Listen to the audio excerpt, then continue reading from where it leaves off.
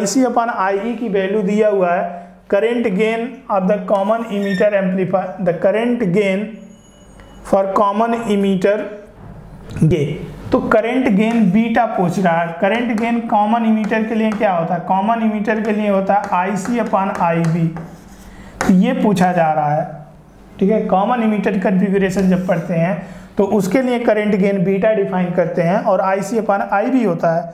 तो यहाँ से जो आई आई ई इमीटर करंट जो होता है, वो बेस करंट और कलेक्टर करंट का सम होता है।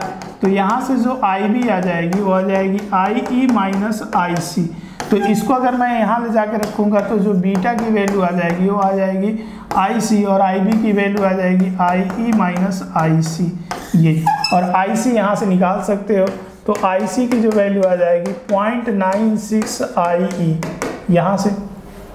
आईसी की value point nine six I तो कुल मिला के इसमें जो बीटा की वैल्यू रखोगे तो यहाँ से आई सी रख दो पॉइंट नाइन सिक्स आई और यहाँ से आई ई पहले से था प्यारे बच्चों, और माइनस कर दो point nine six I